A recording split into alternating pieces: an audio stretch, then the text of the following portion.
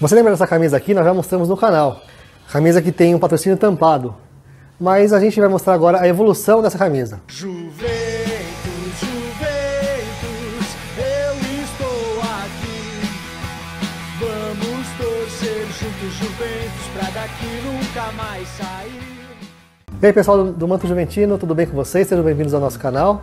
Nós estamos trazendo hoje aqui uma camisa de 97 do Juventus, uma não, três. Nós vamos mostrar elas em sequência.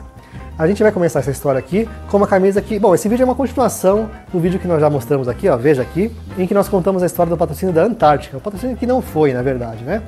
E que ele está escondido aqui embaixo, né? Nós até vamos pedir licença a você, nós vamos é, despir o nosso amigo aqui, né? E aqui embaixo está o patrocínio da Antártica tampado, olha só, que foi tampado pelo nome do clube por extenso dentro de uma caixa branca. Essa camisa aqui foi usada no Campeonato Paulista de 97, desse jeito.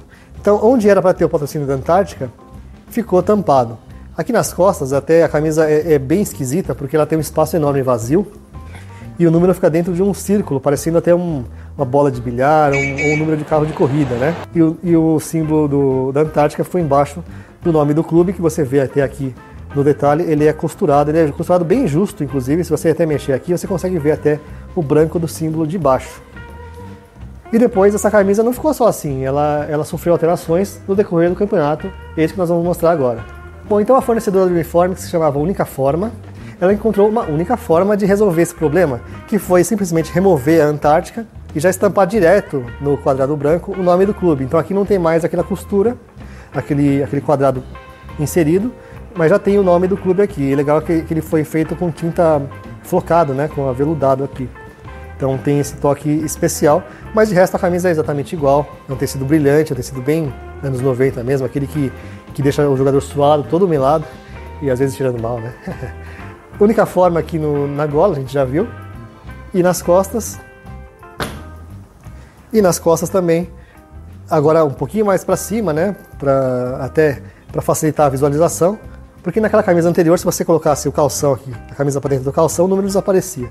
Aqui não desaparece mais, o número continua dentro desse círculo ainda, o que deixa a camisa muito branca nas costas. E ainda durante o Campeonato Paulista de 97, o Juventus fez a sua terceira modificação na camisa. A única forma atendeu dois pedidos do clube. Primeiro, que aquela camisa com um tecido muito fechado, muito quente, brilhante, foi trocada por um tecido bem mais leve, um tecido bem mais arejado, você vê aqui que tem é uma trama bem mais arejada. E nas costas aparece outra mudança.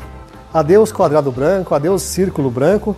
O número fica pintado diretamente na camisa, o que também é, deixou ele mais visível, facilitando a vida de todo mundo. Então agora o jogador fica menos transpirado, menos suado aqui, porque a camisa ela é mais arejada e o número fica mais visível para todo mundo ler com facilidade. Então é isso. Durante o Paulista de 97, o Juventus usou três camisas e a gente acompanhou aqui a evolução delas.